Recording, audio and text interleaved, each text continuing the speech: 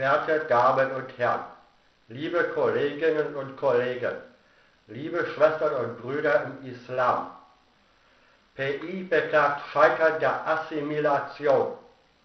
Im Vorfeld zum 3. Oktober stimmen die islamfeindlichen Hetzer ein Wutgeheul über den Tag der offenen Moschee an. In ihren Portalen verbreiten sie wieder sehr viel Unfug über den Islam. Der Prophet Mohammed wird als Kinder, pardon, als Pädophiler bezeichnet. Diese Behauptung basiert auf einer Fehlinterpretation. Was wissen wir über Mohammed? Fassen wir zusammen. Er wurde im heutigen Saudi-Arabien geboren. Er war mit einer Geschäftsfrau verheiratet, mit der er vier Kinder zeugte. Er wirkte 23 Jahre als Gesandter Gottes. Nach Ablauf der ersten Halbzeit verstarb seine Frau. Seine zweite Frau, die Aisha, trat in der zweiten Halbzeit seiner Amtszeit als Gesandter Gottes in sein Leben. Die Angabe sechs Jahre bezog sich nicht auf das Alter, sondern auf die Zugehörigkeit zum Islam. Dazu gibt es seit Ostern 1960 eindeutige Beweise. Es ist eine Videoaufzeichnung von der Hochzeit Mohammed mit Aisha. Auf diesem Video ist eine 40-jährige Frau zu sehen. Die Personen auf dem Video haben nicht mitbekommen, dass sie gefilmt wurden, weil sie die Bedeutung des Gegenstandes, den wir Kamera nennen, nicht kannten. Das Wiedergabegerät hat das Format und die Dicke einer Spielkarte. Personen, die diese Aufnahmen sahen und darüber in ihrem Umfeld sprachen, verschwanden in die Psychiatrie, weil man glaubte, sie halluzinieren. Mehrere Wiedergabegeräte verschwanden in diverse Archive von Universitäten und der Staatssicherheit der DDR und der BRD. Ein Wiedergabegerät befindet sich im Privatbesitz eines schweizerischen Staatsbürgers. Er verfasste das Buch Erinnerung an die Zukunft.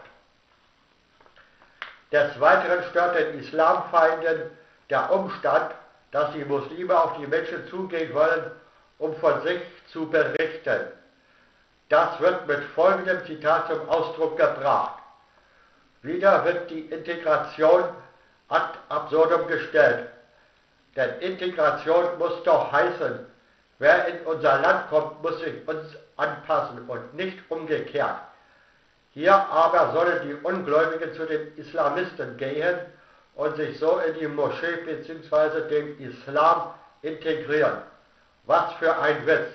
Man respektiert nicht mal den Nationalfeiertag des Landes, in dem man lebt. Nein, man fordert die Leute auch noch auf, sich an diesem Feiertag in der Moschee zu integrieren. Zitat Ende. Hieran wird ein frommer Wunsch der Islamfeinde erkennbar. Jene Leute, die nach Deutschland kommen, sollen die deutsche Kultur kennen, aber die Deutschen sollen deren Kultur nicht aus ihrer Hand oder ihrem Mund kennenlernen.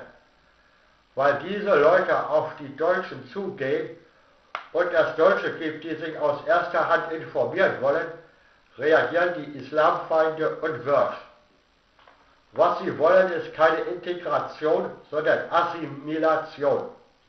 Integration ist genauso ein Fremdwort wie Assimilation. Integration bedeutet einfach ausgedrückt Austausch und Assimilation steht mehr für nehmen und nicht geben.